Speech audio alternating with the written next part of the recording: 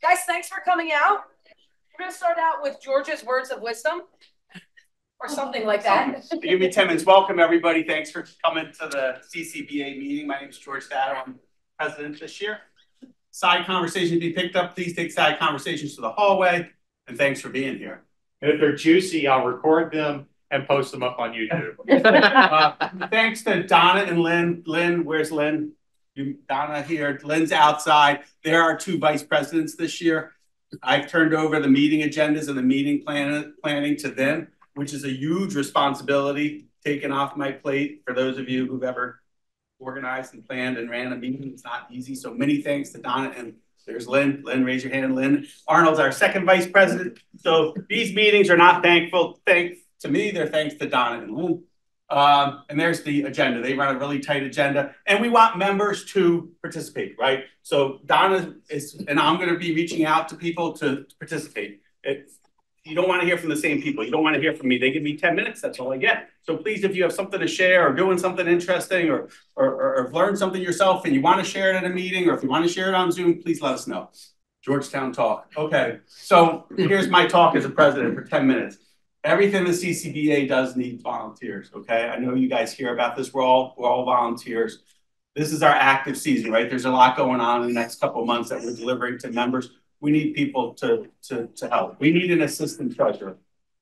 You know, those most of us know that Jack resigned as being treasurer. Howard stepped up to be primary treasurer, the first treasurer, but the job is more than one person job.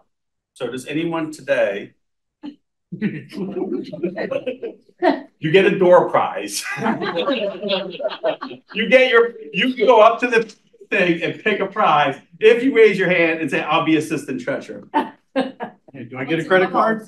Can you tell us what's involved? What's involved, Howard? I think the main thing would be the members, maintain the membership list, because that's done through the website. You can download transactions if you're a member and keep that all up to date. And, and some people also join the Pennsylvania State uh, Beekeeping Association, and they, they need to be informed of who has joined or renewed. So it's not too bad.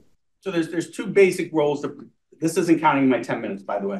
Um, there, there's the storefront and the sales, right, which is one part of the treasury rule. And then there's the membership management, which is keeping track of membership and dues and those kind of things. And also helping when Howard's not here. We really, it's a job that's too big for one person. Door prize, go, go, go to the table, go shake Howard's hand, introduce yourself. Oh, Howard knows me. We'll pick up a prize off the door prize. Your name is? Chris. Thank you, Chris. Please pick a door prize. Um, so we have our assistant treasurer thing uh, sorted out now. Um, that was easy. That was easy. Yes. We also need a newsletter editor. Like I'll put the newsletter together. I need a second set of eyes to, to spot the typos. I vote Yasmin. Oh, I'll do it. All right, yes. Will you? Oh, look at that.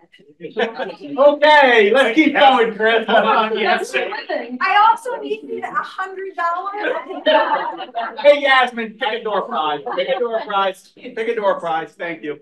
Chris is our secretary. Uh, you met Howard, you met me, Lynn, and and uh, Donna, the vice president, and Mark is is VP Techno B. So uh, that's the crew who's doing your officer work. So thank you, thank you, Yasmin. Thank you, Chris.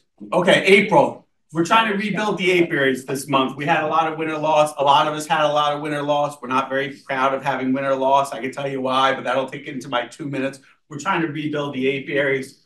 Uh, we're about, we're, we're you're gonna hear, you know, the Queen team sent out and asked for frames.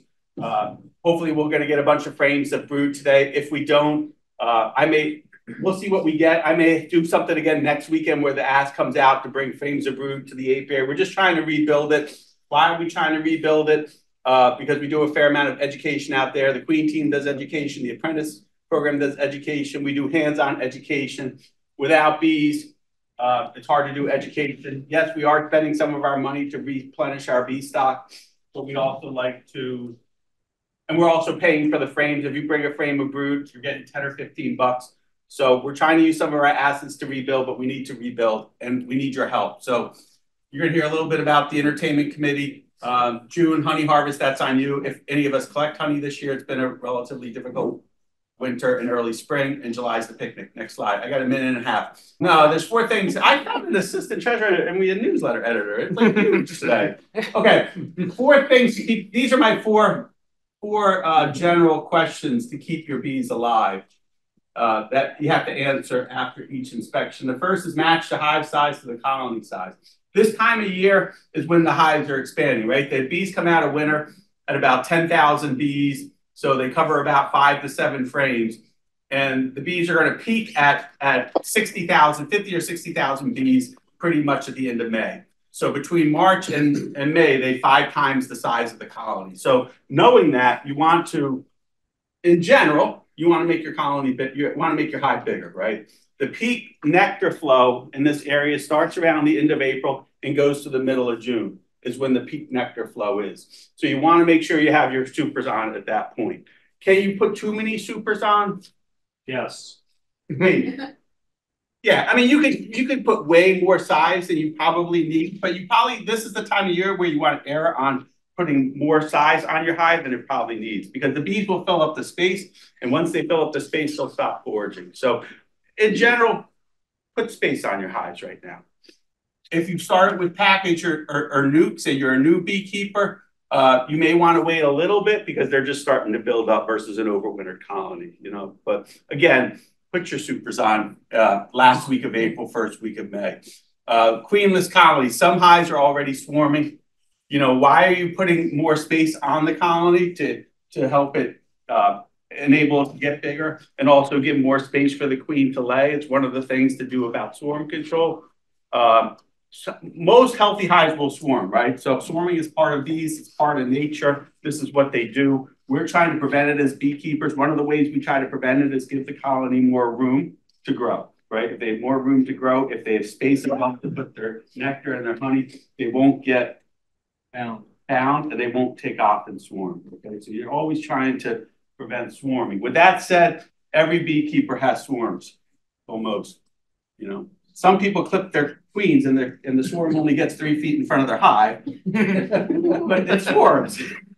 I'm not saying that's the way you should manage your swarms by clipping your queens, but you should think about a swarm box somewhere, right? So if, if, if you put a swarm box, which is basically a nuc box, deep nuc box, hang it in a tree, put a hole in it, put some lemongrass oil in it, you may catch your own swarms, right? So the, at least you're giving the, the bees an option of where to go instead of in somebody's house or in somebody's room, okay? So um, think about uh, getting a new box, hanging in, in a tree. Uh, recognize queenless colonies early. Uh, most of the time, queens will, the queenless colony, especially this time of year, will requeen itself. That's part of swarming, right? The queen leaves, it requeens itself. That generally takes about three weeks to do. Uh, and, but sometimes it doesn't work right. Sometimes the colony, the queen doesn't come back from mating and it's still queenless. Feed when needed. Wow. Uh, it's been a it's been a terrible March, right? So we were talking to uh, one of my friends here to my right, I won't mention his name, uh, you know, me, myself included, we had colonies die or near die the last two weeks, right? They say, they say you're really out of starvation. You're not out of starvation until the dandelions bloom, right? So if the dandelions aren't blooming in your yard, your colony is still at risk for starvation, right? Uh, and I knew this. And do you think all my colonies had feed on them? No, you know, and I had a few colonies that died or near death because they starved. Uh, I, I, think we're out of that window right now, but it's a good thing to have in your mind that the weather can look beautiful in March. The bees know it. They start to brood up, and then you have what we had two weeks, right? How many flight days in March we have? Maybe eight, seven, eight days. The whole month of March, they had eight days to forage. You know how that works. Not, you know, it, it, it doesn't work well, right? So they use up what's in their hive, and they have no flight days, and then they crash. You know, so it's just we know this and you're going to eventually learn your beekeeping calendar if you do this enough. But knowing it and doing it are two separate things, right? Like we could say we know it, but did I do it? No, you know. So uh, anyway, it was a. It, I think it was a tough March, honestly, or maybe a normal March. We've had we've had really nice weather the last couple of years, right? I mean, March and April they've been warm. The bees were we were pulling supers in mid-April. Now now we're like trying to get the bees to survive in early April. Anyway, so Bees can starve until the dandelions bloom. Feed when needed. If you have packages, if you have nucs, you can't overfeed them, honestly. But you can, but it's, you, you're better off keeping the feed on new colonies than taking it off. So if you're not sure, give it space and continue to feed it a little bit. Again, that's an oversimplification, but that's what I'm here to do. Um, know the mite count and treat effectively. Uh, is the, is the last thing. We're not gonna talk about mite counts yet. Uh, there, the mites are in the hives, the, all, mites are always in the hives, right? So you, all, all the hives have mites.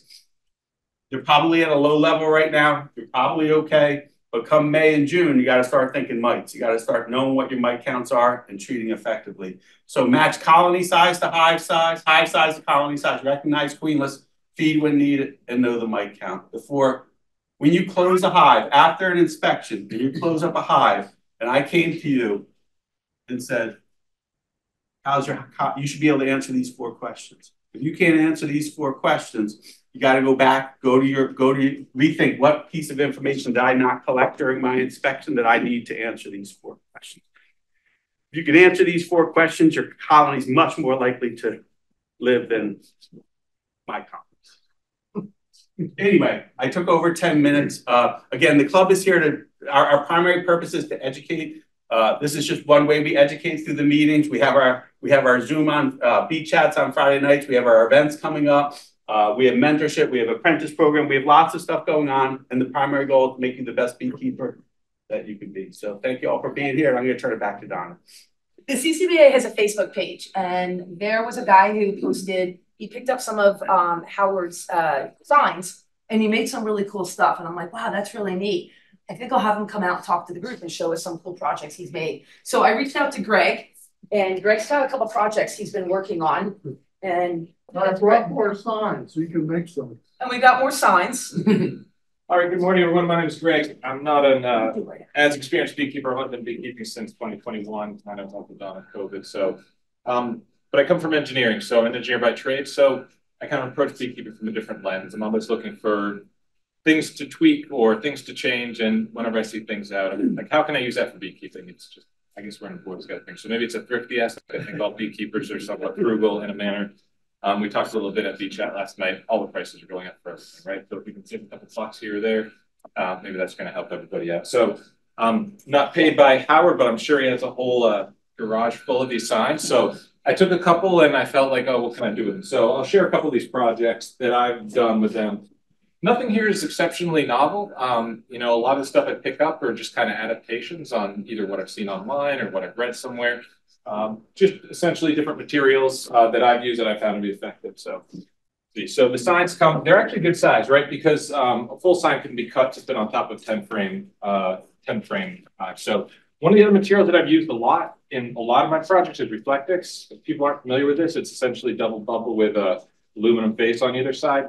Great for insulation, great for top covers or or high or inner covers, I should say. Um, fits right on, gives a little bit of insulation, the reflective insulation quality. So I use a lot in a lot of projects. So, um, so the first one I just want to talk uh, through is so essentially an inner cover for a right? Um, again, repurposing uh, the sign, just cut that down, small inner frame, and then again lined it with the Reflectix inside.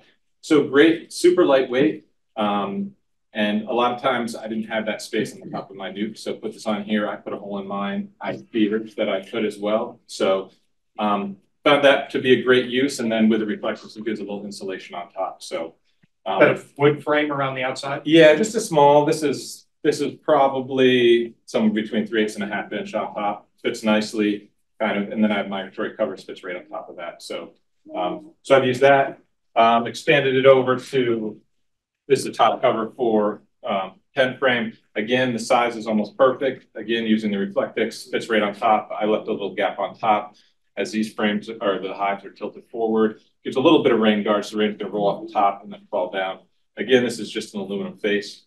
Again, dollar store, one of my favorite stores for beekeeping. There's a lot of great products there you can repurpose. And then this is just aluminum like that, the duct tape that used as well. So you just use the aluminum foil on the top? This is a yeah, like a heavy duty foil. Again, it's a dollar store, just glued onto the top of again one of Howard's uh, uh, political signs. It's just chloroplast, yep. But if I can get it for free from Howard, I'll take that instead of buying it. um, Again, so I have kind of an integrated hot shim slash cover. So again, uh, you'll see the common thread here with the, uh, Reflectix. So a shim with insulation on top, insulation, and then using the Reflectix. So this fits on top, cut a hole, use one of just the plastic, small plastic discs. Uh, this is what I overwinter all my hives in. It gives enough room for, um, uh, for sugar bricks or fondant, just stick it right on top of the hive. So that works out pretty well for me. So a couple projects relatively inexpensive. This is mostly scrap wood. You can see the you can see the purple on the side, right? So if anyone's gone to Home Depot, the second's what they're trying to get rid of. It's a lot easier to find just small pieces uh, of wood. I cut those up and then a couple screws, staples. It does the job for me, at least on my inventory. So some projects from there, um, like I mentioned, uh, dollar store is kind of one of the places I go to a lot. I was trying to figure out some some queen uh, queen mating boxes. So as most people know, you can buy the, the packaged queen mating boxes, but they're like 25, 30 bucks. So this is my dollar store rendition. Uh, from the dollar store, you can get this foam cooler. Obviously, $1.25 now, sorry. Um, this was, again, plastic cutting board from dollar store as well. So this is dollar as well. Um, reuse one of these plastic discs, but essentially, again, just some paper. Uh, this is a um, like a larger uh, tongue depressor or popsicle stick. Build those frames in here. Um, you can see inside, but there's a homemade queen excluder that was made out of, again, from the dollar store, some of the bamboo skewers and um, put a hole in the side. So two seasons I was able to make queens with this. So again, you know, requires a little bit of work to, to put one of these together, but How many hours? Uh, Just time value as a exactly. aerospace engineer and eight years of qualifications that you've got to do that, right? Uh, but it's fun to Yeah. think with, right? Getting paid in that time otherwise. How many trips to the dollar store? Yeah. Exactly. So I don't know. I feel like we're always buying something there anyway. So throwing in a couple extra. Um, so again, kind of fun just to say, hey, you know, should this really cost 30 bucks to, to buy a commercial one, 25, 30 bucks, or you could make one and just throw it back and give it a shot. Um, so, so that's that Like project. Greg, that's double ended. Correct. Yep. So more than one? two on each side. Yep. One on each side. And so I lay these sideways.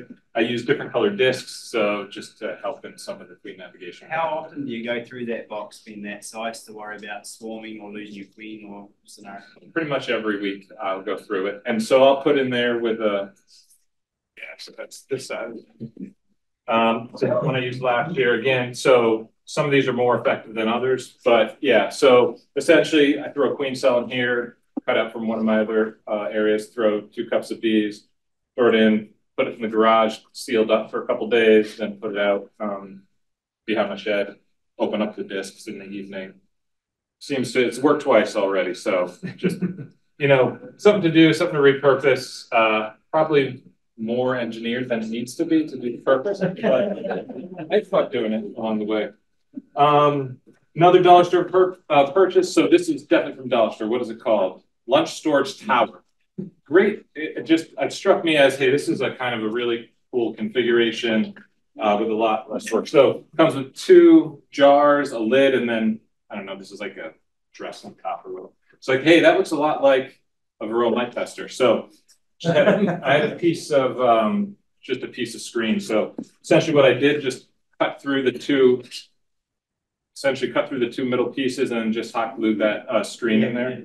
Um, again, this was a dollar plus a scrap piece of screen and a little bit of hot glue. Works really well. I used it all last year. The benefit of this is that um, while you're doing growths, if you have multiple hives, these are only a dollar, right? There's two things. You can line them all up, fill this up with your dog dish soap or your alcohol, whatever it is, fill these up, and then come by and then do the actual test as well. Stick it in here, spin it around. These don't go through the screen, and then you can count them up. So just kind of a cheaper solution to, you know, there's a couple Varroa mite checkers that are, you know, 10, 15, 20 bucks, but um, $1.25 is the right price for me at the time and kind of fun to just put something together. So those are a couple of projects. This is certainly uh, steal directly from Ed Sharp, but for those folks that are looking to clean off um, queen excluders uh, over the winter season. Um, again, this was at Facebook Marketplace purchase. So if you people notice this, this is a wallpaper remover. Oh, I bought the whole thing. It's like twenty bucks on Facebook Marketplace, but what you can do, I use one of Carl's sign, or Howard signs again, line up a couple nuc boxes, line queen excluders, hook this up to the um, wallpaper remover, and I just stick this on top of two bricks. Let this run one or two cycles, all the wax just melts straight down off of it, onto the bottom board. But again, a really kind of easy solution, like hands off, you just stick them in there, let it run. So definitely kudos to Ned Sharp design, but just repurposed using one of Howard signs. So pretty, pretty easy concept and it does a great job at cleaning it. Greg, is that just giving them a heat or steam? It's a steam. So it's, yeah, it's like a wallpaper remover. So normally that would plug into a basin that just heats up the water. Unit that comes with it, it holds about a gallon and a half, two gallons of water, and it heats it up, and then the steam goes through the Like a tube. professional steamer. Yeah, you could use a I am closed- a professional steamer. That will closed work to steamer. clean my queens. Apparently. So, yeah, it works really well because there's just no hands-on. You just set it up, kind of set it, forget it, and let it go from that perspective.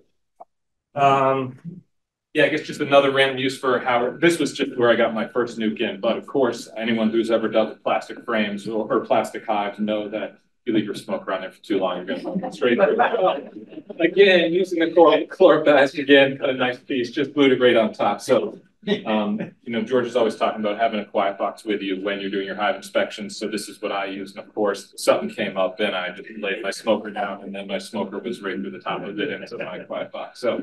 Um, a lot of uses overall, uh, for that perspective. And this is the last one, this is what was, um, presented, um, on Facebook. Again, just looking for other solutions for bottom boards and things to somewhat potentially reduce uh, both robbing and try to reduce some of the beetle load. I'm certainly not a beetle expert as George is, but um, so what this solution is, just took a general frame, grow some, this is the, this is the, um, the eight hardware cloth. And then I had some, this is PEX tubing from a leftover project, but essentially, so this is screened so nothing can get through here. And just drilled seven holes and put in some of the, uh, the PEX. So two different designs here. So it's my understanding that it's difficult for beetles to hover, unlike bees, they can hover, and so they can come up through this ninety degree and then walk right in. Whereas beetles are more of a kind of direct line out. I don't know, don't quote me on that, I'm not an expert uh beetle person, but it's also difficult for the be- beetles to come down and turn this corner if they were trying to actually um come in from the side of the hive body and then get into the hive overall. So I haven't specifically tried this, but the other option is by having smaller entrances, the bees might do better either to defend this. So during robbing season, certain tubes could be closed off or opened up. Um, the other benefit of this is just make a a standard kind of uh, bottom board. What you can do is put, at the bottom? board. put this puts over the side and then uh again reusing the chloroplast once again cut a piece. I stacked up a little bit along the side and then just a zip tie here. What this essentially is is just a you know it's a board. So this is kind of like the poor man's uh screen board. Now this bottom you can paint it white. But I like to do two options um you can buy this in bulk. Essentially what this is is fly paper. I put it around trees for spotted lantern flies, but it's sticky paper. Just run two kind of layers of that along the bottom. Anything that falls through the screen is going to stick here. It's not going to be able to get out. So that works really well for me. Relatively inexpensive. The other thing I've done before, people are familiar with this. It's called Tanglefoot. Essentially, it's um, like a non-toxic, just kind of, I don't know, sticky glue you can very simply just wipe it on that bottom board. Anything falls in there, it's not getting out. So particularly what I've done is put a layer on it right along this edge. So if anything, again, tries to climb in, it can get through these holes in the chloroplast, but once it hits that layer, nothing's getting by there. So just a good indicator of seeing what's going on in your pod. There's anything overly special about any of these inventions, but um, probably more engineering time into it than actually necessary. But it's fun to tinker around and just kind of try things out. So I'm more of a trial and error type. What size screen you have on that? This is uh, the Number eight? yeah number eight hardware Okay. cloth. So the beetles will five fall through that? They they can't. They'll definitely they can go sideways through, or especially the larvae will come through. They'll fall through that, and then if they're trying to get out, as they start coming out, they'll hit either the entire sticky paper or just that line that I put in there. So. I'm just a simple. What's the adhesive you use? The what? The adhesive, the glue for the Oh, for, for this one? No, no, no, the, um, laminating all your plastic together. This I'm using, uh, it's Gorilla, Super Gorilla Glue. It's the waterproof version of that. Um, so I haven't had any problems with it. It's pretty durable. All your lids are pretty light. How do you secure them to your hives? You strap them, you put a weight on top? Uh, yeah, put a brick or stone. And I haven't had any blow up problems. Um, I, I had originally strapped all my hives down and I don't know if it's just where I live, where the wind blows, but I haven't had any problems with hives coming up or top covers coming up. Like I said, one or two bricks on top of mine. Um, Do you have any cameras on your hives that are raccoons attracted to silver shiny objects? So I do have one of uh, outdoor blink camera on my hive. I've never, well, I have a bunch of deer go by, so I have probably a million shots of the deer walking in front of it, but um, I've never had any other type of pests. Uh, yeah, raccoons, skunks or anything. And I know there's skunks and groundhogs in the area um, underneath my shed. I think that's where the big residence, but it's pretty common. But um, I don't know, any questions? It's kind of my approach to beekeeping. Like I said, cursed with being an engineer and liking to tinker. So I end up with all these little projects that I use for, you know, half season, try something out. The club is out of mite washer, so can, can I, can I think about twisting your arm and maybe doing a evening to make a whole bunch of your mite testers maybe? Yeah, like I said, the super- supplies are super, uh, super inexpensive. So good, Good, good project maybe. When you go to the dollar store though, uh, it's like, uh, hit or miss, right? Like, if I went out there, would I find those things or, or they're not a standard? Yeah, so these are always standard at the beginning of the school year. I guess Ah, they okay. figure everyone's going back to school and they need something else. So pretty much, uh, yeah. Um, yeah, so August, September is when I usually, and it's great because it's, it's watertight on both sides. So, um, it works well. And then like I said, you just put that small piece of screen inside. Greg, you drill that or using your laser cutter? Uh, this one, this one I just did by hand with an exacto knife. But, uh, yeah, anything would be able to. How do you cut this? I just use exacto knife. Exactly. and then Yeah, can go just it. cut around it, not a problem. Then you glue it, hot glue it. Yeah, so that's, you can see, that's the, yeah, that's the, this is the native one. Raise your hand if you own a mic tester. Oh, mic tester. Wait, wait, wait. Which- Raise your hand if you used your mic test. Well, that's, sorry. So I want to take an opportunity real quick to just kind of go back. How many new members do we have today? Where's Lynn? Where are you going, Lynn? Um, can I just, well, just tell us about yourself. Uh, my name's Mike. I've been at Beacon Geek since twenty eighteen. I draw my baby. Awesome. And Joe? Hi, I'm Joe. I live down in Annenberg. Today's my gotcha day. My bees come tonight, so I'm very excited. And um, hope this is a start of something great. Awesome. Well, welcome. And is Ben with you or Ben, are you separate? I'm separate. Separate. Uh, I'm new. Uh, got my nuc a week ago. They're not dead yet. Uh, this guy Tom Breeze works with my wife. Has been bugging us for a couple of years to get started. I don't know who's been hugging, bugging whom, but uh, yeah.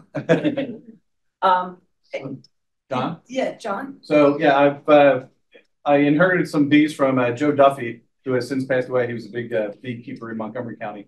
And, um, so far I've killed about seven hives, but I still have one that we, uh, that Gordon and I uh, overwintered, so. Awesome. And we're picking up a package at eleven o'clock today. And we caught a swarm. Oh, nice. The swarm that we're gonna rehome shortly. Awesome. And you guys are new beekeepers? Yeah, I'm Gordon, by the way. Okay, nice to meet you, Gordon. John? Yeah. Where are you guys from? Uh, Glenside and Gordon's in Philadelphia. I'm sorry. You can speak as well. Did you catch a swarm in Philly? Yeah. Did you really? We, I had a crow's nest, it's about forty feet up. And we put a swarm trap up there and caught a swarm. On one of the nice warm days, saw the scout bees a couple days and then they came in That was just this year. this year. This week. This week, yeah. Um, any new members on this side? I'm Ed and um brand new, greenhorn, I guess you could say, and just basically a hobby for me to do with my wife. First time here? We met your wife. Yeah. Okay. Yeah, Thanks- yeah, yeah. Thanks for coming out. Thanks. Anyone else? My name's, my name's Ward. Uh, I've been a member for years, but it's the first time I've actually done it. So, um, yes, happy to be here. First monthly meeting. Um, um, keep these, do cutouts when called and, um, yeah, that's about. I'm, I'm just north of Coatesville. Me and Kristen, and we just got our nucs uh Saturday last week. Yeah, congrats. So Awesome. we're- They're still alive. Awesome. Well, great to have you. I'm Holly, uh, same, I've been a member for a long time, but, um, just getting active again and getting my first, uh, fees tomorrow. And uh, I live in Glenmoore. Awesome. Well, welcome. Thanks for coming out, everybody. So for all of you new B members, we are uh, going to make you feel comfortable, but we're gonna bring out probably one of our oldest members, not by age. But- Howard, it is your grandfather that started this club, President. right? And he's, he's working on a write-up for me. He hasn't done it yet, but he's working on a write-up about his grandfather for me to present. Um, but he's gonna come up and tell us everything that he's done wrong recently. Not me, not me. Oh, not you. Howard's horrible. Harold is horrible. He can't make- I took the slides. Lots of Took slides, I My lungs are shot. I think too much smoker smoke. I never smoked in my life. I've got pepper lungs, so let's see how this goes. So Howard the horrible beekeeper is not me. I'm Howard the mediocre beekeeper. But my, this, this person I know, Howard the horrible beekeeper, has a story.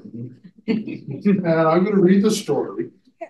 And you all have to be quiet and you have to listen carefully because there's a quiz at the end of it.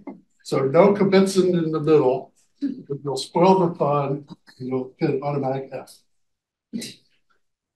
So listen for clues in this story. I was out at my apiary last week looking at my biggest, strongest hive. I found twelve cap queen cells, four cells on each of three frames. Since I want to expand, I found I had a ten frame deep box and eight frames left. So I put two of the frames with queen cells into that box with my last eight frames. I had space next to my big hive, so I put the hive there, put on the cover, and felt good about what I had done. So now I still had one more frame of queen cells. And I remembered that I had a hive with lots of bees, but no eggs or larvae. So I took the frame of queen cells and shook the bees off of it. Then in the smaller hive, I took out the edge frame, shook the few bees off of it, and replaced it with the queen cell frame. I put that empty frame that I took off in a very strong hive. Back with the inner covers and outer covers on both hives. And I went in for some well-deserved Nestle's Quik chocolate milk.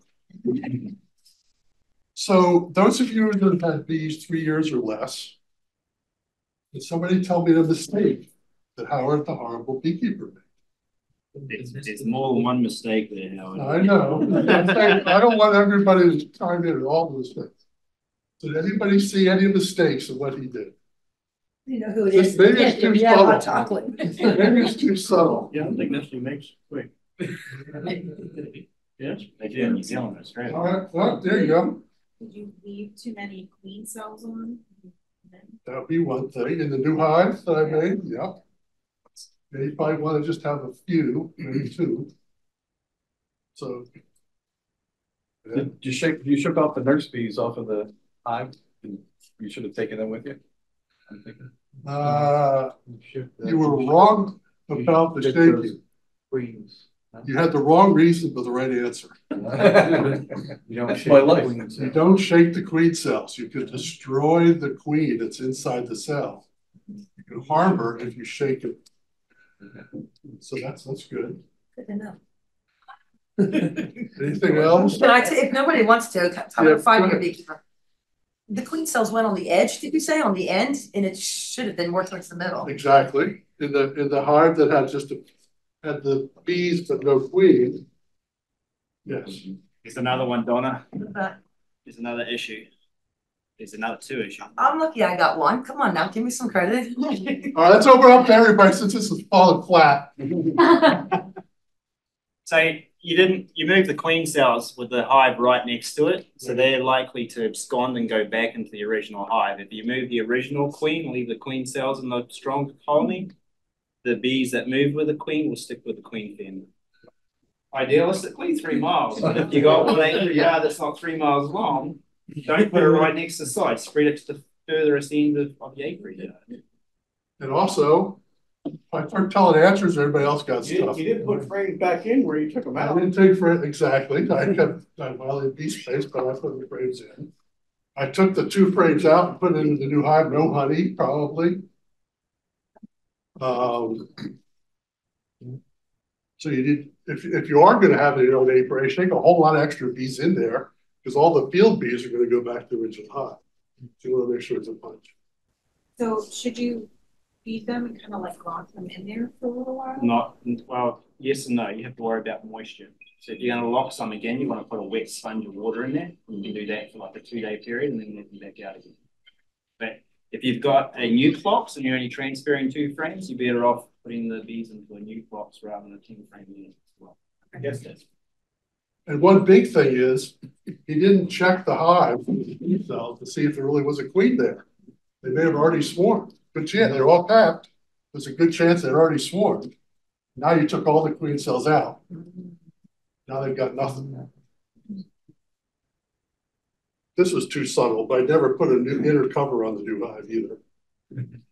Um, and that weak hive that had no brood, maybe they had swarmed. I didn't check for other queen cells. There were already queen cells in there. You got a lot going on this yard, Howard. Not me, not me. No, you keep saying I, so. Yeah, but you- I didn't do this. Friend of the story. Sure. Yes, for a friend. That's pretty good. Was that fun? Thank you.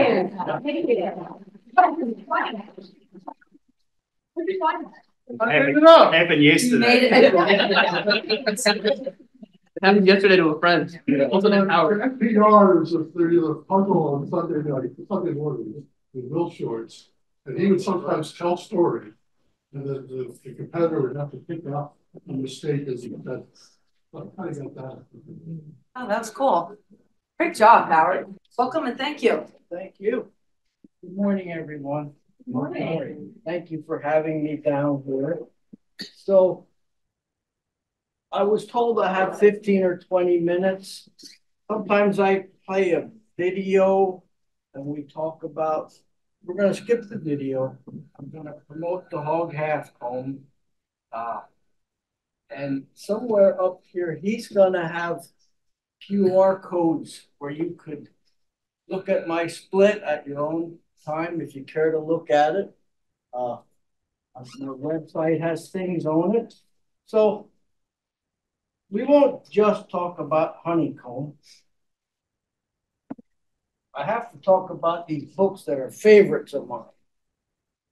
I used to do a lot of presentations promoting this system. And then COVID happened and all that went away for a while. And in that same time frame, I realized I've been keeping bees for 50 years. Oh, oh my goodness. Midlife crises go along with these things. but I bought this book when I was young 50 Years Amongst the Bees by Dr. Miller. So I got it out and read it again, and it just brought to my mind 150 years ago, the people were as smart or smarter than we are. This guy's beekeeping capabilities are beyond mine. And he made comb honey in the basswood sections, which are really hard to find anymore, but some of you may have seen them. And I made some of these when I was young. It's difficult to get these into these basswood sections. He made ten thousand a year. Oh. I try to make four thousand honeycomb, and I do it on a big scale too. Usually fail and get three thousand. So these people 150 years ago, they weren't dumb. They just didn't have cell phones and all the things we have now. so another great read. You won't learn a single thing, but if you want to know why you're obsessed with honeybees, this is the book you want to get. The Joys of Beekeeping. And this book basically, this man is able to explain how great he feels this day out with the bees. You're not gonna learn anything other than, oh, that's why I'm obsessed with bees. I get it now. It's a great read. When you're depressed, I read this once a year. Oh. You got it, George. And Careful. Some of the girls told me that you can still find this. I don't know where they found it, but it's available if you study it. I'll read it now. Mind if we take a picture and share it with it? Oh, not at all, not at all. Those are both good reads, in my opinion. Put it on the Facebook and nobody looks at it. Yeah, share it for everyone. Yeah, fifty years amongst the bees by C.C. Miller. I own a version of this too. Awesome read for, for listening to, reading how people used to do it in the nineteenth century. Yeah. And they were much more brilliant than we are today. Yeah, I, I kind of feel that way. Closer to me. Yep. Yes. Not, not distracted by all the Right. cell phones. So I don't just make comb honey. Uh, and I'll just give you opinions. This is not how maybe you want to run your hives or, or anything like that, but uh, I run a hundred fifty hives maybe for extracted honey. Have a lot of time for all that. So this is how I know when to put a super. I winter my bees generally in two high bodies and a shallow. That's kind of the year-round scenario. Next week, the bee season's here, right? Dandelions are out. It's gonna be warm. I lift up two high bodies. If the bees are using the lower one, find the super. Three, four extracting supers on right then and there. Now, these are drawn combs from all my years of doing this. Honeybees are pretty attracted to drawn comb. And it really does help prevent swarming. And I don't have time to come back when they fill one and put, you know, they're getting three or four right at the same time. That's when I put the supers on, when they're using the lower hive. Some bees don't winter so well. So I won't put a super on if they're not using the lower high body. The brood nest will kind of go up instead of them ever going down. Just what I do, not necessarily the right thing to do, but if you're unsure when to super, this has really worked for me. Wait till they're using the lower high. not jam packed. I don't even pull a frame out. I'll just look in and I can tell there's some brood, there's something going on. If you have a question. So you don't reverse them? No, no.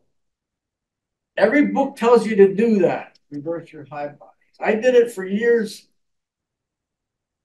What I found was when you get that lower high body off the bottom board, the bees run out of patience, right? That's when you get stung. so I decided, is this really necessary? So I'm gonna do half of my operation without reversing high bodies. I did this 30 years, 40 years ago. In my opinion, that's a total waste of time. The bees are going to get down there. They're going to use that lower hive body. Be patient, get down there. Might break your back. Again, you do what you would like to do. but I'm not reverting the hive body of 200 hives. This is necessary, in, in my opinion. So, all right, that was a little bit about extracted honey. Another thing that I get a real kick out of, and you want to think about this over the years, is get one of your hives on some kind of a scale. Now, I'm an old mechanical person, so I have the platform scales where you slide the thing. I have two going.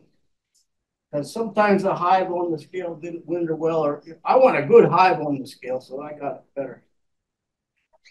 Things that are really interesting is how mysterious a honey flow is and what you can learn from this scale. Remember in March, we had a day of 70 degrees. Maple trees bloom. Maple trees are inconspicuous, so you don't really think of them as blooming, or but they do. On that day, my scale high went at 13 pounds. Oh my God. Now, before I had a scale, a colleague of mine, came by and told me that. I would go, um, when he left, I'm not sure about this. Get yourself a scale because it's really interesting. Another thing you learn You know, a hive of bees sometimes makes two hundred pounds of honey, you know, we all do that, we all experience that. That comes in on ten days out of the entire summer. Most days that scale does nothing. Honey flows are mysterious. Are you familiar with the honeysuckle bush, the invasive bush? Great honey plant, great. When I first kept bees, that was an invert count. It's an invasive. And I got honey from tulip poplar trees. It's good honey, darker honey. But the honeysuckle bush, the bees prefer it. I don't get any of the tulip poplar honey anymore, even though they still give nectar, because if you stand under a big tulip tree and bloom, it'll drip on. But the bees prefer honeysuckle, must be higher sugar content. Uh, that plant's gonna bloom in one month. On certain days when that blooms, my scale goes up twenty pounds a day. The record I had was 30 one day. You know, it's hard to believe, but I got the scale and I slide the bar. And then that hive makes me two hundred pounds if I'm, I'm lucky, but all happens on ten days. Day after day, beautiful, sunny, and the scale don't do anything. I, I can't figure out what makes a honey flow. Very interesting. You have a question? Oh, I'm sorry, I thought you put your name. But uh, when it first comes in, it's not uh, dehydrated. Does it get lighter as they de as they? Uh, Yes. At the, yeah, when they evaporate the water off of it. Yeah. It'll, it'll go down. And that's all nectar that's coming in. Right. Uh, It's amazing what honeybees can do. Teeny little. Honeysuckle's got a very high sugar concentration for a nectar source, so you lose about fifty percent of it compared to locusts. Okay, so now we'll talk about what I thoroughly enjoy doing, and that's making honeycomb. So this is what I used to make before I became aware of the Hogg half comb system, the round sections. You're familiar with them. So I always tell the same story. Somebody went out of business and I bought a hundred supers, Ross Round supers. This is 30 years ago. I'd never made a honeycomb in my life, but I had studied it. And I put these hundred supers out there properly manipulated, and I got 3,000 round sections. And they're in the honey house. And my wife said, What are you going to do with them? I really hadn't thought about it. So, what rings in my ears is my wife always says, Are you sure you know what you're doing? I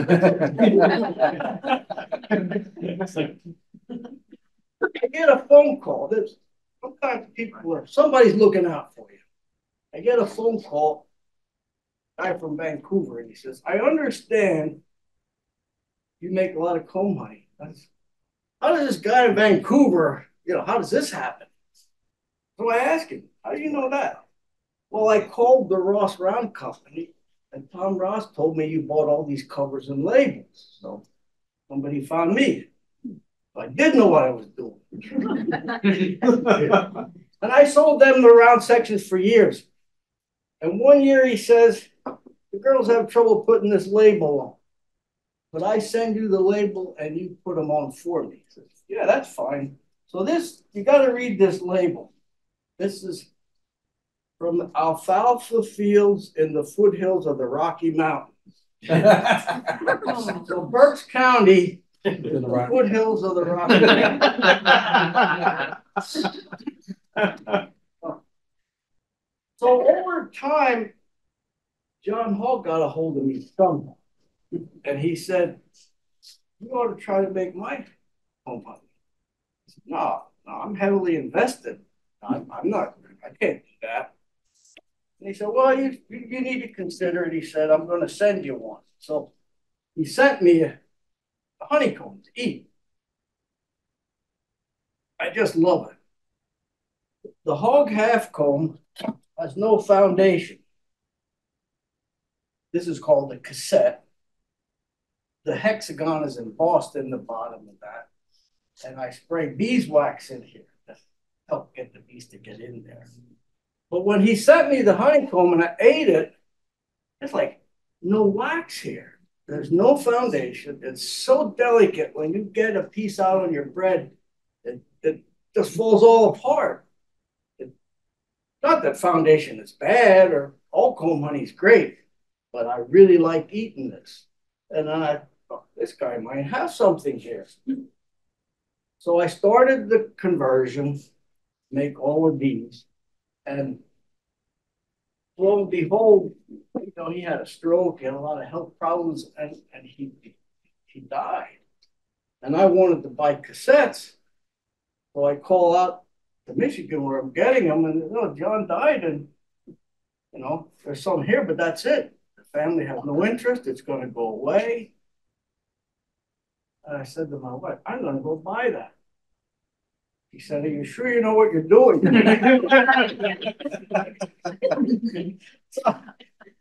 I bought it. I didn't make money for quite a few years, but it has been good to me lately. Half comb sell well. Betterbee does a good job for me, and and this is a nice wintertime project. I beekeeping isn't lucrative, but I like doing it. So between selling honey and selling cassettes, I, have a really good life right now. So an up and coming thing, of course, I try to promote this to someone who wants to make 40 honeycomb, put it right on top of your hive. Uh, making honeycomb is challenging. I would be telling you the wrong thing to tell you you buy this, throw it on the hive, and you get 40 comb. Most of the time, you get a swarm.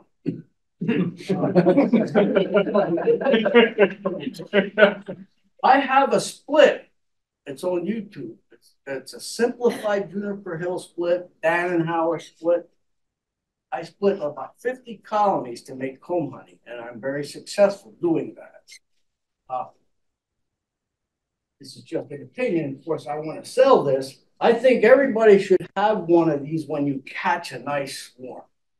A nice swarm is very industrious. I throw it in one hive body, put this on, no excluder or nothing, and I get 40 nice comb out of the swarm. That's $400 for the swarm. First of all, if I were a better beekeeper, the hive would not have swarmed. But so uh, there's a, my website has all kind of ideas on, on the Hogg half comb system.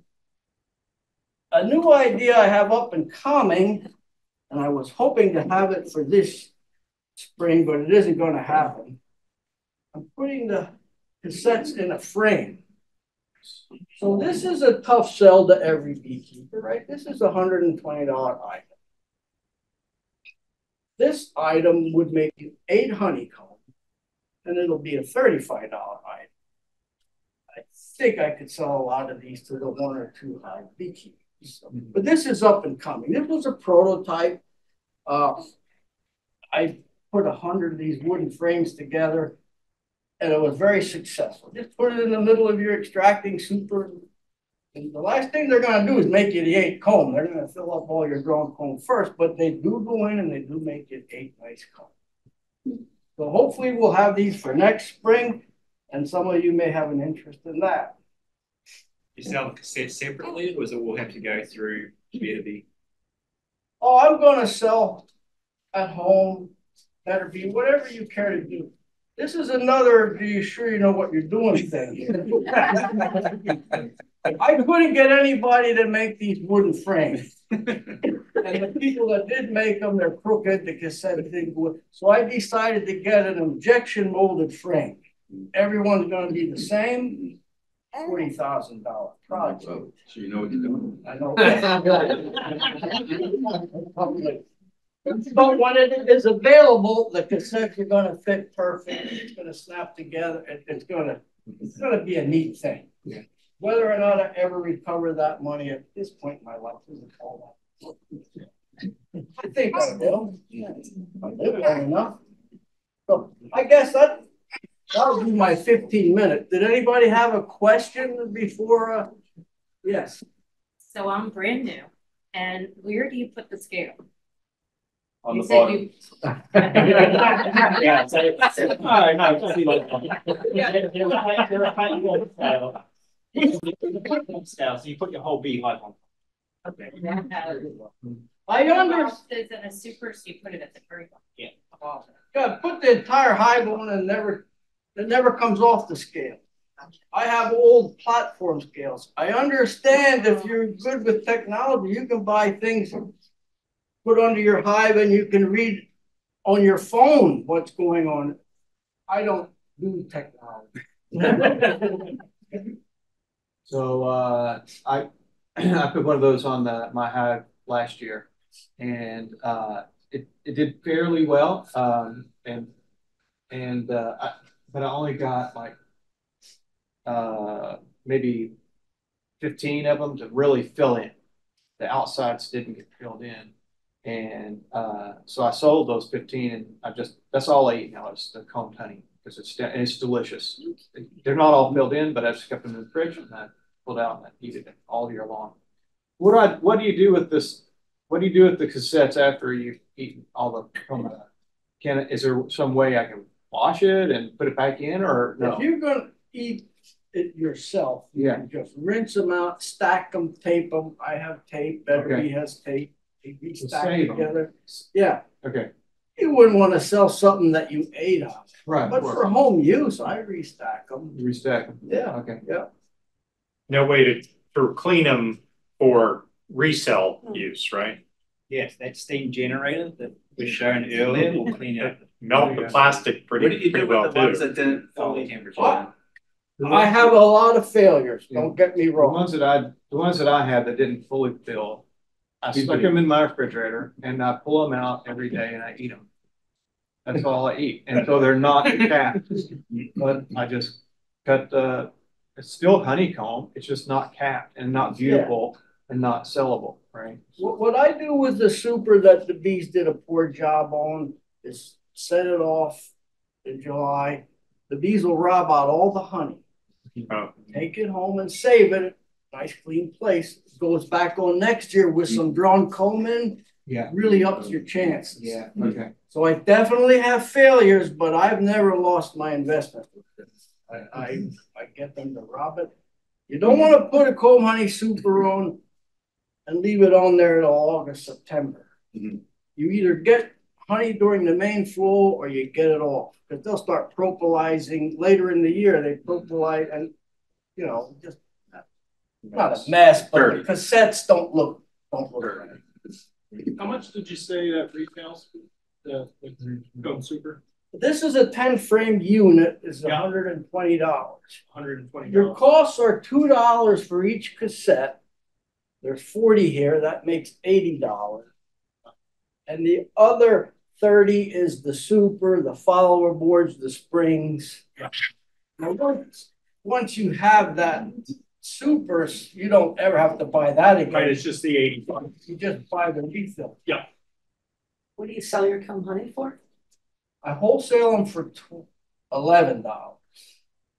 Retail is, it depends where you are. Yeah, yeah, twenty dollars for them. Twenty bucks? How much weight's in, uh, section? Well, this is a beautiful comb honey that weighs a solid twelve ounces. But I weigh each one. The honey flows can stop, the bees will cap them over thin. They won't weigh twelve ounces, so I sell ten ounce comb and eight ounce comb. If it's capped and looks good, I sell them according to the weight. In a good year, I get a lot of twelve ounce comb, wholesale them for eleven dollars. My daughter takes them to New York and sells them for twenty-five. Oh. I can't do that where I live. Yeah. I think so. Yeah. You said you spray the cassettes with beeswax. How do you spray beeswax? John Hogg was a rocket scientist. He worked for NASA. Guy's brilliant. If you look at the way this interlocks together, you may not like comb honey or have any interest in this, but if you study this thing, it's just genius how he put this together. He built a machine, it's the only one like it in the world. It's from the wax. It, it- it melts wax, it has tubes. Uh, I have two girls, neighbor girls that help me. They wax one thousand five hundred cassettes in three hours. The machine is fast. They just take the cassette, and push it down. it hits two toggle switches. One sprays the wax and the other one makes it go back. Like it's just as fast as they can pick them up. How can a backyard pe- person do something like that? Paintbrush. So we're No, not. right. It's all come. Oh, no, you are- come spray. Yeah, you- When you buy from me, there's wax spray on Sprayed the on, top. Oh, yeah, I'm sorry. I'm. After he explained that, I realized, oh, it's coming that way. Now, this cassette, this cassette is not sprayed, it's just food grade plastic here. But I sell them all with a coating of wax hmm. hmm. it. They better be selling that way? Yeah, yes, I- Okay. they don't leave my place without wax on it. Got it. I wanted to sell overseas. And the issue is they won't allow beeswax in other countries. So I experimented producing Hogg half comb without wax on the bottom. It can be done, and I had some success. It gives more burr comb, gives more trouble. I don't want to sell something that they're not going to be satisfied. But my overseas sales are not happening unless I build a sprayer for someone. I don't know if I have time for all of that. So, uh, You say the two frame unit, the two frame unit will be available next year? I hope so. I'm already twenty thousand dollars into it. It was supposed to be available now. But, yeah, that's- How can we find out when it's gonna be available? Uh, Website. Well- Website, right? website, I did bring some cards. If anybody wants a card, there's QR codes on this. None of, I can't even read my own card. I don't even have. Young people do all this stuff for me, and it's very nice of them to, but on the back of this card is the YouTube video on the split. And the front of the card, I think, just brings up the website. But if anybody wants a card, take it and keep in touch with me. Uh, love to come down next spring, early with a bunch of frames and start to, you know, get some of my money back. I ask you an edgy question. on my way. What do you think about the new simple comb? It's pretty neat. Are you talking of one they stick in a wooden frame and you Yeah, fold the cover plastic, over the yeah, back? the I plastic. saw it. The at thin Better- one. I saw it at Betterbee. There's nothing wrong with that. It doesn't have a coating of wax on it. Uh, I'm, I just think this is the greatest. That doesn't mean it is. I don't feel, It's thin yeah, versus the, flimsy thing. Uh, I didn't know if you saw it. I did see it. The Chinese knocked off the Hogg half pole. Knock off everything. And Betterbee bought with a couple of these. Not everything made in China is junk. They had a bunch of good ideas on, on their stuff there. That's where I got this frame I. I stole it back You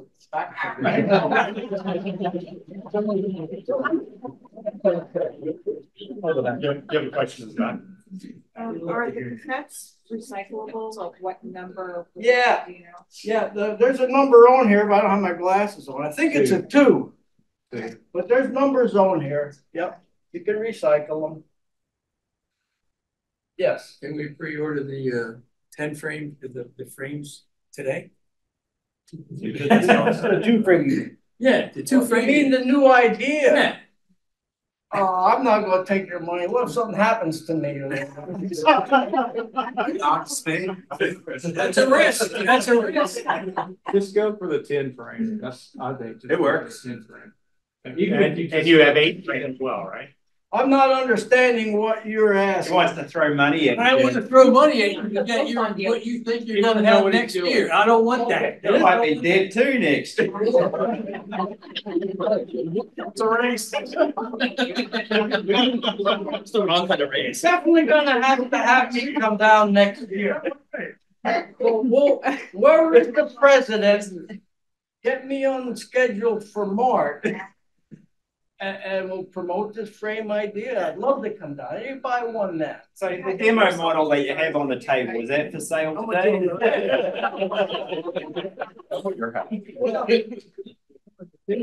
This one. Better be. Silent auction style. Yeah, one right You wanna auction it today? This one's crude though. That's okay. For weight. You're twenty, fifty. The mold is gonna make two size frames. There's a piece that comes in and out of the mold. This is for a shallow super. Mm-hmm. But it's also gonna have an extension for those people that use medium supers, and most people use a medium super. When I was a young person, all we had was shallow supers, and they called these mediums of Illinois at the time. And an old friend of mine told me when I was eighteen, you're a fool if you get these medium supers. I didn't listen to him. My fingers are shot, you know, carpal tunnel. A hive makes a lot of honey, and here's this fifty pound super up here. I mm-hmm. can't get off anymore. He was dead right. Go to shallow supers. All you ladies here, you don't have to bother your husband to get the honey off. Shallow supers, just, just an opinion. But I have all these medium supers and I can barely lift them. But so there'll be two sizes frames available.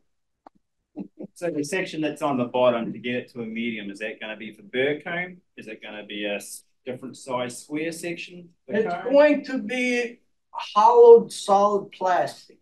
So the bees can't build comb there, there won't be burr comb. Just a space taker. Just a space taker. And the frame is designed so the hive beetles can't hide anywhere. All the hollowing out will be on the inside. When you put this in, the bees will glue that seam right up. And you won't have all these cavities for hive beetles to hide.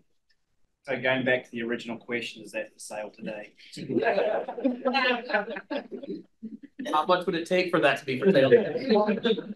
I, ten bucks and it's yours. Ten bucks, there you go.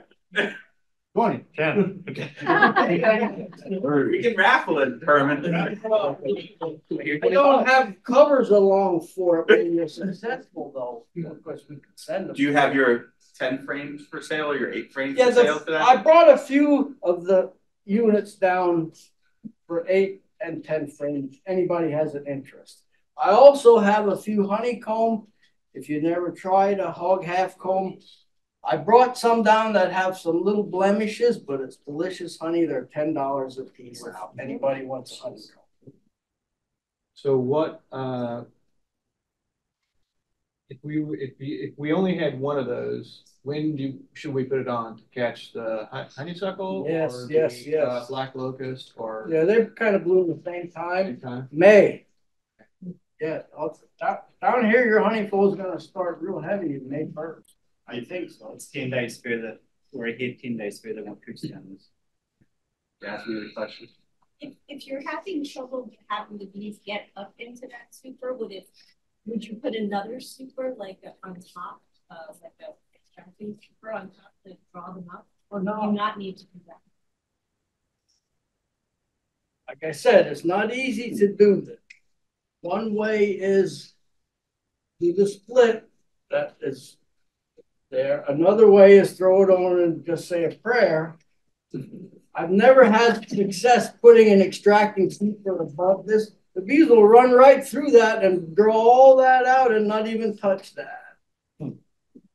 Honeybees are not attracted to any kind of foundation. You'll learn that as a beginning beekeeper. You know, they are attracted to drawn comb though. As the years go by and you extract and you accumulate drawn comb, very beneficial. I have a feeling I went way past my time here. Well, Thank you very much. I- Hi, thanks everyone for coming. I'm Monica and I am the chair for entertainment. And um, first of all, thank you all for coming. And I want to thank this club as I'm coming into my third season and George, Donna, I'm gonna miss a ton of people, Tim, Ed, fabulous, fabulous. The things I have learned this year by volunteering more into the club is um, you get out what you put in. And I am on some outreach programs and we are doing amazing things. and reaching out to schools and Girl Scouts and I was blown away. I was blown away at everything that this club is doing. So we're doing a lot out there, but I'm gonna try and bring all that love in here, and that's with the members, okay? So with our members, um, we want to get to know each other better and more intimately and see what's going on. It doesn't matter if you have one hive or hundred and one hives, everybody has something to offer. And so the hive hop is, um, we had it a couple years ago. There was some fail, but there was some awesomeness out of it also. And what we need is we need members to, we're going to send out a survey. And we need members to say, I'd love for people to swing by and see my apiary and what's shaking out there, because everyone's going to be obviously different. And then we need the other part of the members saying, I want to see what's going on. So we have members participating in sharing their apiary and then members that want to go around and check all this out. You are not tethered to your home the entire day. There will be a slot, a little window, and we're going to put that in the survey. Do you need a half an hour for your tour of your apiary or do you need 45 minutes or an hour, whatever you want, but you're only going to be held captive to your home for that, that window. You can even jump in on the tour. And then when it's at your house, you're there coming with the rest of the people and, and sharing what it is that you have. So that's the hive hop. That's what it's all about, seeing what other people are doing. And um, we're going to put out a couple of um, Saturdays and Sunday dates the last two weeks in May, maybe first week in June. We want to see what the majority of the people want to do and want to see because it's your club and we want it to just be super fun and get to know each other. Um, so that's the hive hop. Does anybody have any questions about that? Everybody get it? It's like a tour, When's club tour. Email going out. We're gonna probably do it, um, what do you think? Sunday, Monday? Week. This Sometime week, this week. this week, so. You'll look see a that. survey. We're expecting answers, cutoff dates. Um, let's put that in there too. Thank you for these questions. So, yeah, we'll need, because people need to know, they wanna get their gardens at their best, and they wanna plan whatever it is that, um, they wanna showcase for their place. Um, so we'll have a, a start and an end date, we'll have, um, majority rules, it's your club, so be participating in it. If you don't want to do it, maybe reach out and say that. You know that people are paying attention and listening, like Mr. Cincinnati. There you go, okay. So um, that's it for the Hive Hop, and we're going to um, get that survey out soon. And it's gonna be fun, and we're gonna have a um, collaboration at the end of it. We don't know where yet. It could be I don't know if we're gonna do a northern swing, the southern swing, it just um depends on how much participation we have. Or we're gonna make it, There'll be a party at the end. there will be a part, there's always a part, there's always a part. So um and then swinging into the summer picnic, um I've reached out to East Goshen Park. And I don't know if you know where that is, most of you, it's kind of centralized for the club. And um I reached out to them for the date and the time, and that is um, the second Saturday in July. And we have that party instead of a meeting. And um, we'll we'll send out more information about that, but we do want to get that reserved. It's really going to be kid friendly, family fun. Um, we can't have like the smoke. I, I've never been to a picnic with the club before, so I don't have a baseline, but um, we just want to encourage the little people, so grandchildren, your children, and we'll have fun games and shenanigans for sure. And then we'll have a party after that. So, um, so that's what we're doing with that. I'll, I'll take this on to just say, next, next month we go outside. Uh, when I was asked to, uh, find out if ChesLen was, we're gonna go back to ChesLen. Um, when I was asked to find out if, if space was still available, I found out there is a, um, I think it's called West, West Branch Brewing. Has anybody ever heard of West Branch Brewing? They're gonna be there at two o'clock. So I thought, hmm, how do we keep the beekeepers there from after the meeting until two o'clock? And I thought, it'd be really cool to go out and do like a native bee walk. Um, everybody seemed to really like, uh, who was it that gave the photography talk? Hillary, Hillary did a photography talk for our conference. That went over really well. I'm a photographer. If anybody wants to talk macro photography and go on a walk, we can do that as well. Maybe try to fill in the time. And then the West Branch Brewing has food and beer if anybody wants to stick around and make it a day. So we're gonna get together and Right. see if we can make it a day and it's only four days out of the year because we only have four there. One of the outside ones is a picnic. But anyway, I just wanted to mention that. That's perfect. Uh, Charlie's gonna talk to us about the Queen team. We, uh, we did put an ask out for frames from, volun- for members. Uh, anybody that does have frames that are gonna bring them out will be out there after the meeting at the apiary. You need the address. It's six fifty Brandywine Drive. It's listed in West Chester. Um, No, we're doing, it's listed in West Chester.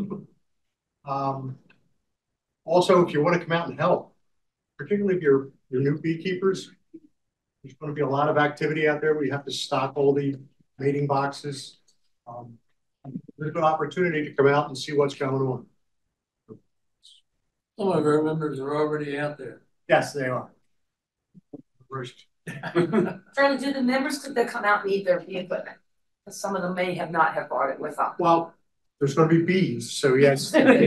But, I mean, you can, you can even come, you know, stand back and watch what's going on. If you just want to get an idea of what we're doing, it's, it's a, and even we do a lot of other activities which you can volunteer for and come out and, you know, gives you the opportunity to get into the hives, to find queens, to mm-hmm. recognize what's going on with the hives, to be able to read the frames. So Okay, any, any, any other questions as far as where we're at? Even if you have frames in the future, at least if, we'll be in touch if we still need frames. I don't know where we're gonna be at the end of the day. That reminds me, if you go on the website, right, and look under the volunteering tab, the opportunities to, to get involved are gonna start to open up a lot now that the bee season's here. That be with the Queen team, that be with entertainment, that be with the community engagement, the speaking, all those opportunities are gonna be underneath that tab. So I really, anyone who gives an hour, you don't, you can't even believe what the value of that hour is to the core group of people that do most of the work. So please look at that, and if you can give an hour at some point, please, please do. It, it- it's very much appreciated. And the amount of work that's gonna start to pile up over the next couple months is gonna be significant. So please check that tab, and it's as simple as clicking on it, signing up. It'll tell you what to do, what's gonna be involved, where to go. Uh, we'll make sure you have the supplies necessary to do whatever you're signing up to do, but we really need people to to, to, to do that, okay? So thanks to Chris and thanks to Yasmin for volunteering. But, you know, they're big, big roles, but even an hour or two hours makes a big difference to us being able to, to do what we do. This is smart. So I took over from Jack, who I see you standing in the back here. When, what year was it, Jack, you started being treasurer? Twenty fourteen, so he's been doing this job since twenty fourteen. In my mind, he's one of the unsung heroes of this club. You would not believe all the work he did every day, because it's more complicated than you can imagine. For example, whenever you go to the website and buy something, a transaction goes to the credit card, a company that validates the credit card, sends us an email that says, yes, it's a valid credit card. I'm still not sure I have all this straight. And then it goes to somebody else who then gives it to the bank. And each of those generates transactions that have to be looked at and recorded, et cetera. So, Jack also chair of the board last year. He seems to be the person we all go to for questions on the website how to administer it. And he seems to have in his head all the history of the club in the recent years and, and stuff. So I'm well, really thankful for that. All he, all he's done through the years. So the club bought him that truck that you're showing. I think he bought that truck on his own. So I'm still learning. And it's, as I said, Jack kept, when he was training me on this, kept saying, you sure you want to do this? So, um, I've lunched through the, the, the amount of money we have. And, and the highlight was the conference profit of almost five thousand dollars. Um, we have the, a separate fund for Save the Bees. And As I said, it's a lot more complicated than, than I expected. And, uh, I'm trying to get a handle on it. Jack's been very open to helping me out, which I obviously appreciate, so. Uh, obviously, the books are open to any member. I have the computer with me if you want to see anything.